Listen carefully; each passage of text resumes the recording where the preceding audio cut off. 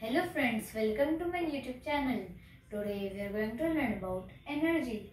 Today we are going to learn about five of them. First, kinetic energy.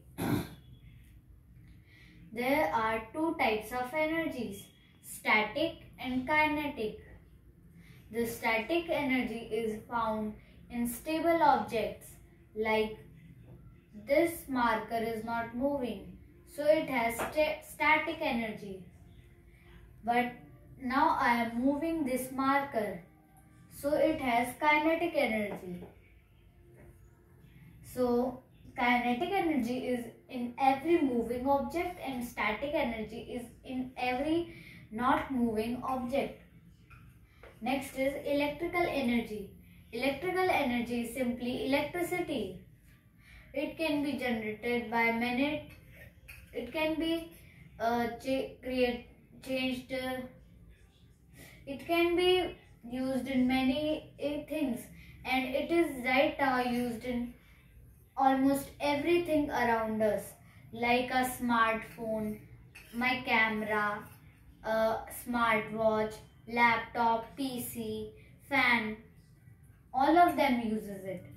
Next is heat energy. Heat energy is fire or anything that produces heat produces heat energy. Next is solar energy.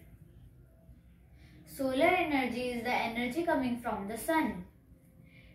Uh, suppose i have a solar panel. So i when i put it in sun it captures the rays coming from the sun takes the solar energy out of it and converts it into electrical energy Next is wind energy. Wind energy is the energy of wind.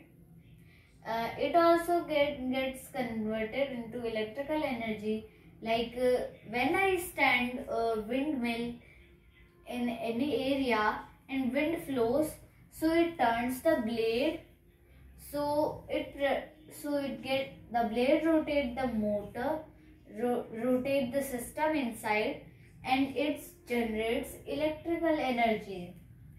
Thanks for watching. Please like, subscribe and share to my channel.